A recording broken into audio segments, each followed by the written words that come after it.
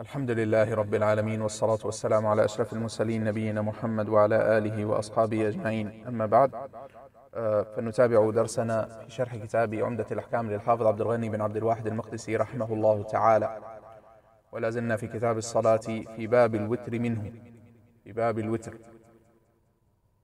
Uh, we'll continue our class in the explanation of the book عمدة الأحكام by Al-Hafidh Abdul Ghani bin Abdul Wahid al-Maqdisi rahimahullah ta'ala and we're still in the book of the prayer and we're in the chapter regarding al-witr regarding al-witr أورد المصنف رحمه الله هذا الباب لبيان آه، لبيان صلاة الوتر فضلها وأحكامها So the author rahimahullah, he mentioned this chapter to clarify, to show the matter of Salat al-Witr, its virtue, as well as its rulings. وكما تعلمون صلاة الوتر هي الصلاة الفردية يعني صلاة هي صلاة فردية من ركعة أو ثلاث أو خمس أو سبع أو تسع أو إحدى عشر وهكذا هي الصلاة الفردية التي تصلى بعد صلاة العشاء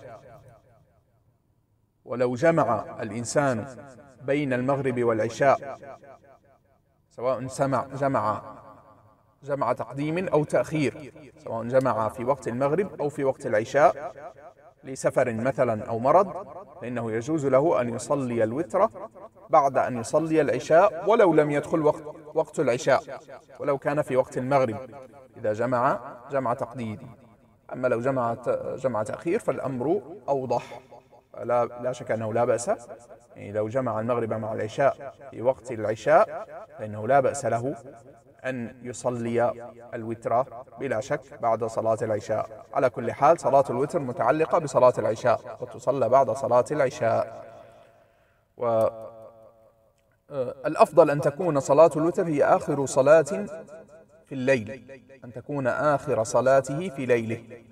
ولو صلى بعدها فلا بأس. يعني مثلا شخص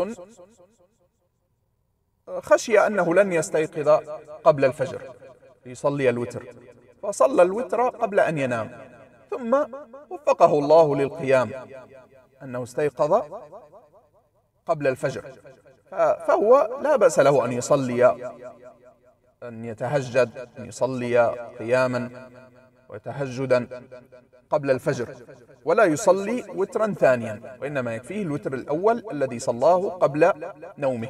أما لو آه، يعني لو علم وغلب على ظنه أنه يستيقظ قبل الفجر فالأولى له والأفضل له أن يؤخر الوتر إلى قبيل صلاة الفجر. لقول النبي صلى الله عليه وسلم فإن خشي طلوع الفجر فليوتر فليوتر آه، يعني فليصلي وترا أو فليوتر آه، صلاته أو كما قال صلى الله عليه وسلم. لما ذكر صلاة الليل فقال مثنى مثنى فإذا خشي أحدكم ال- الفجر آه، صلى نعم صلى واحدة فأوترت له ما صلى. نعم. ف so, صلاة الوتر is an odd numbered uh, prayer, meaning that it has an odd number of units. So it has one rak'ah, one unit of prayer, or three, or five, or seven, or nine, or eleven, or whatever it is, an odd number.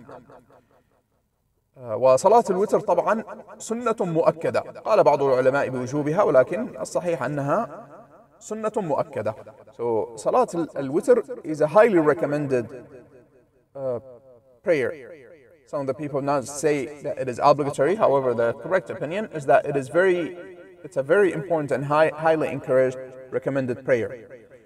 And it is odd numbered. And it is prayed after Isha. After the person prays Isha. So if the person was to combine Maghrib and Isha, for example, someone is traveling or someone is sick and needs to combine the prayers, um, then in that case, he can pray witr as soon as he prays Isha. Whether he prays Isha at the time of Isha, they pray, he, whether he prays Maghrib and Isha at the time of Isha. If he delays Maghrib until the time of Isha uh, for a legitimate excuse, then in that case he prays Maghrib and then he prays Isha. And he, of course he can pray witr after that immediately. And if the person combines Maghrib and Isha at the time of Maghrib, so one is traveling, for example, and he wants to pray Maghrib, and he's, of course, while traveling, one is allowed to pray, to combine Maghrib and Isha together. So he prays Maghrib and he prays Isha right after it. In that case, he's allowed to pray Witr right away, even at the time of Maghrib. He's allowed to pray Witr. And we should know that there should only be one Witr prayer per night. One should only pray Witr once per night. One should not pray Witr twice in a night. Uh, and it doesn't have to be, it's best to pray Witr as the last prayer in the night.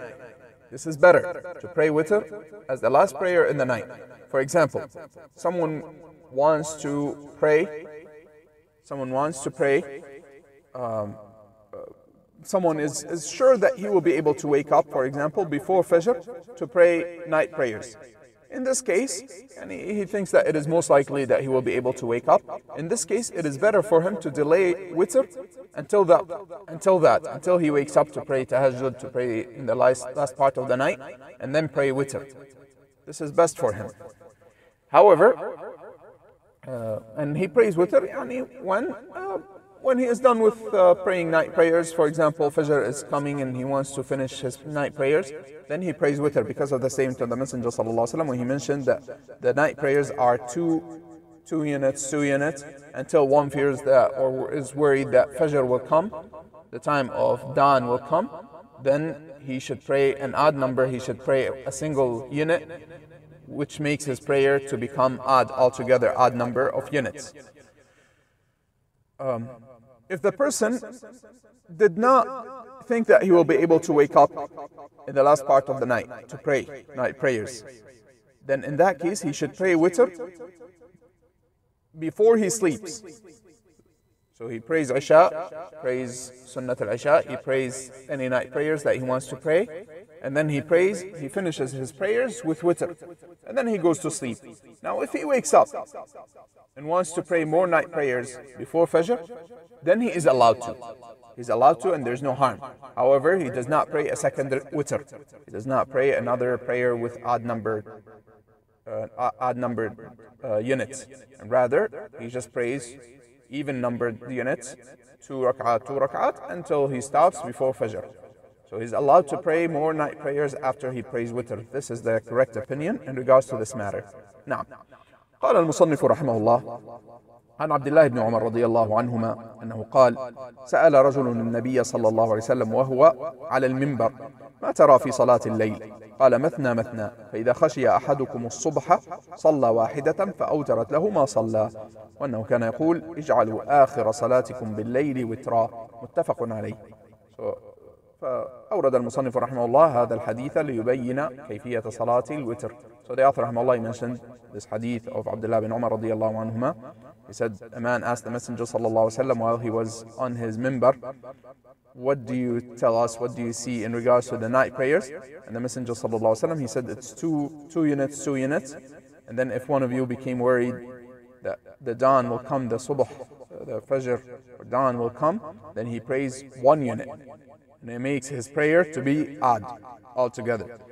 Uh, well, and also the Messenger وسلم, used to say, make the last prayer in your night witr, an odd number. الحديث متفق عليه ونؤجل الكلام عليه إلى الدرس القادم إن كان في العمر بقية ونكتفي بهذا المقدار وصلى الله وسلم وبارك على نبينا محمد وعلى آله وأصحابه أجمعين